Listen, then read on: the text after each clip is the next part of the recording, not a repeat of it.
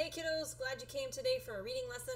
Today we're going to talk about how to share your thinking about books. I know that while you're thinking, while you're reading books, you're thinking about the character, maybe you're thinking about the setting, maybe you're making connections in your own life, maybe you're having questions like, how in the world did that happen? Well, here are some ways that you can record your thinking. Uh, if we were live, we could do a couple different things.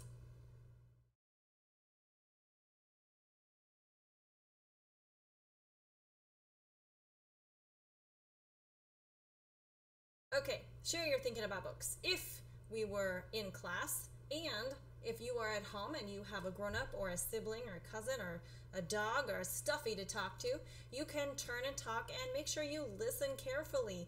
Now, if you're talking to a stuffy or a dog, there's not much listening going on, but if you're talking to another person, then you will want to make sure you've got your ears turned on and your mouth turned off. Also, ask questions to clarify. If you're not understanding something that a person is telling you, or you're not understanding something about what you've read, ask the person who's with you, and maybe that will help you clarify. If you're not with a person, you could still ask the question out loud, and that might help you get started on your thinking. If you are talking with a partner, make sure you look at your talk, your partner so that your partner knows that you are talking to them, not just wandering your eyeballs around trying to think of something to say. Also, give reasons for your thinking. Don't just flat out say your thought, say this is why I'm thinking this.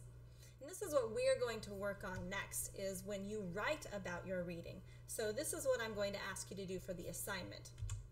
So when you have your paper or your notebook and your pencil, you're going to write your thoughts just like if you were a person if you were with a person and you were talking with a person, you would say your thoughts. In this instance, you're going to write your thoughts.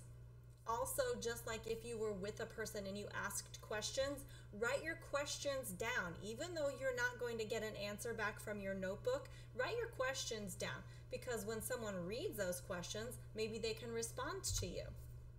Make sure to write in complete sentences. I am going to be reading this journal and I assume you will come back and read it later again sometime and you'll want to know what it was you were talking about. So make sure that you're writing in complete sentences and give reasons for your thinking. So just like when you're talking with a person, you want to give the reasons for your thoughts, not just your thoughts. Okay. Now it's your turn. Woo, that was fun. Okay, go find a book, either on Epic or the Fort Vancouver Regional Library, an app on your device, or go find a, a book or a story in your home somewhere. Uh, maybe you have a Kindle or some other kind of reading app, but find that book. After you've read that book, or if it's a chapter book, after you've read a couple of chapters, I would love it if you would get into your notebook, find your pencil, write your thoughts about the book. Did you like the writing? Why did you like it? Who was your favorite character? What was the place that you wanted to go to? Write your questions.